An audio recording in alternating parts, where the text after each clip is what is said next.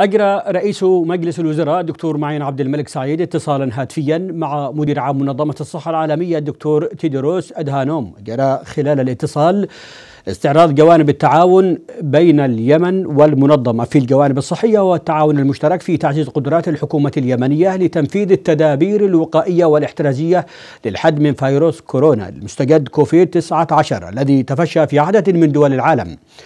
وتشارك الجانبان المعلومات حول التدابير التي اتخذتها الحكومة اليابانية في هذا الجانب بالتنسيق مع مركز الملك سلمان للإغاثة والأعمال الإنسانية والدعم المطلوب من منظمة الصحة العالمية لتعزيز واستدامة هذه الإجراءات الاستباقية حتى يتم تجاوز هذه الجائحة عالميا. بما في ذلك دعم إنشاء المزيد من مراكز العزل والحجر الصحي وتقديم الإمدادات الطبية اللازمة للفحص والمشاركة في الجوانب التوعوية.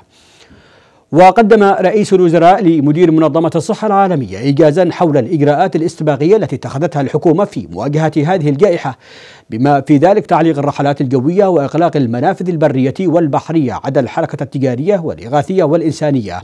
وتشديد إجراءات السلامة والفحوصات للطواقم قبل دخولها إضافة إلى تعليق العملية التعليمية وغيرها من الإجراءات.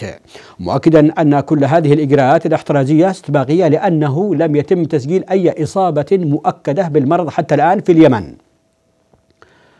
وأعرب الدكتور ماين عبد الملك عن أمله بقيادة منظمة الصحة العالمية للجهود الدولية في خوض المعركة الصعبة والمعقدة لتجاوز محنة انتشار وباء كورونا المستجد. لافتا إلى احتياجات ومتطلبات القطاع الصحي في اليمن على ضوء الخطط الوطنية التي أعدتها الحكومة للاستعداد لمواجهة الوباء. والدور المعول على منظمة الصحة العالمية في تقديم الدعم والإسناد اللازم في هذا الجانب. وثمن رئيس الوزراء دعم منظمة الصحة العالمية لليمن خلال السنوات الماضية وأهمية مضاعفة هذا الدعم لتقوية قدرات القطاع الصحي الذي أنهكته الحرب التي أشعلتها ميليشيا الحوثي الانقلابية من انقلابها على السلطة الشرعية. وأشار إلى أن الحكومة وفي مواجهة هذه الجائحة العالمية وبالإضافة إلى الإجراءات الاحترازية والوقائية تولي اهتماما بالغا بالجوانب التوعوية للمواطنين لتعريفهم بمخاطر الوباء وطرق الوقاية منه وأهمية دعم منظمة الصحة العالمية لذلك. وبدوره أعرب مدير عام منظمة الصحة العالمية عن تقديره الإجراءات الوقائية والإحترازية التي اتخذتها الحكومة اليمنية للاستعداد لمواجهة هذا الوباء ودعمها لجهود الحكومة في هذا الجانب.